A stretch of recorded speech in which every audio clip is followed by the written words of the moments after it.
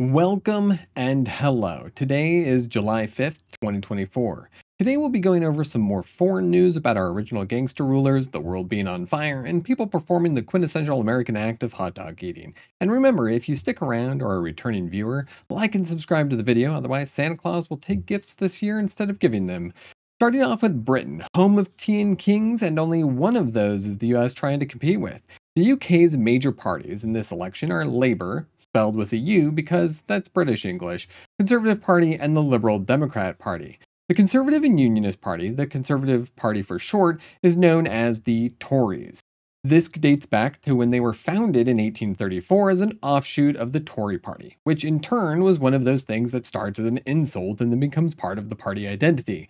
As in, it originally meant outlaw in Irish and was used as an insult because the Tory party was seen as rather rebellious in nature compared to the main parties at the time.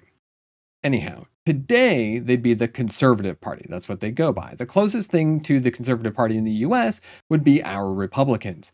Over the past decade plus, they've lowered social services, disrupted healthcare, and ran on policies that were keeping spending in check while basically destroying the social safety nets of most people, ruining small business capa- capabilities to compete well, while pointing at deportation, military defense, and tougher sentences on criminals to be a solution to all of the UK's problems.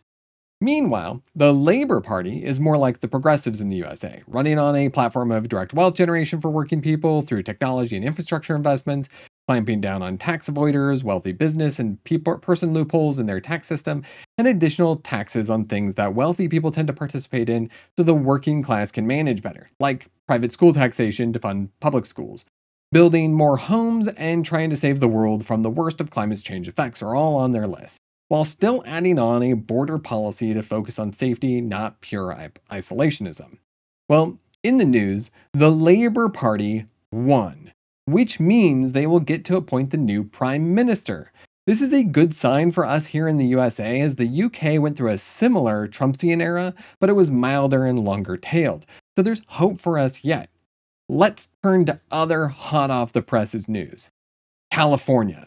It's on fire. Again, literally. In Northern California fires, um, there's homes that are being threatened. Nearly 30,000 people have been ordered to evacuate.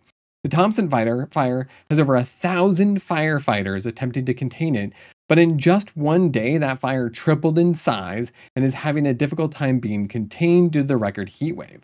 Although fire frequency has remained somewhat consistent over the decades, where some years it's up and others it's down, and injuries due to fires have actually shrunk over time, extreme wildfires' frequency and severity has increased.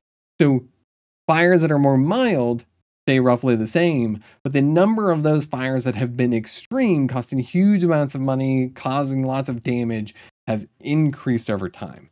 Some will point to the fewer injuries that take place each year in the USA, but that's due to the various technologies, techniques, and warnings being issued as the root cause of why that's happening. But damage and costs of those uh, fires have gone up and continue to rise.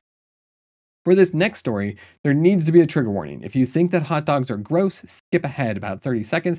For the rest of you, Patrick Bertoletti downed 58 hot dogs in 10 minutes and won the right to hold the mustard belt with pride and joy. He would have lost to the all time champion, Joey Chestnut, but that guy signed a deal with Impossible, and all the meat lovers said he can't participate anymore.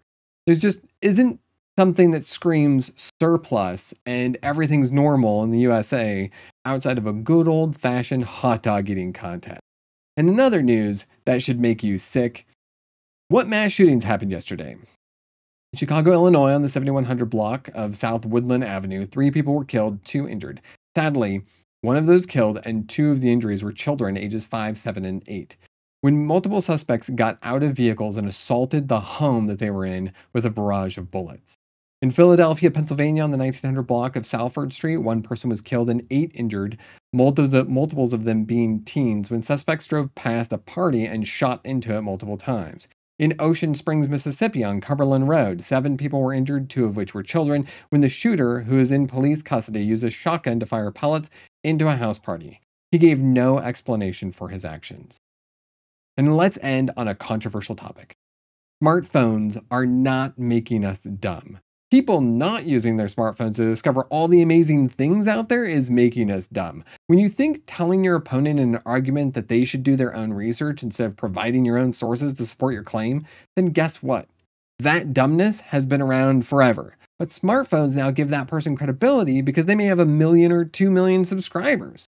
Smartphones allow us to combat ignorance practically anywhere, and yet we use them to watch dance videos, politicians sharing naked pictures of people, or them attempting to have sex in a theater. Every day you have more access to the information of the world. Use that power.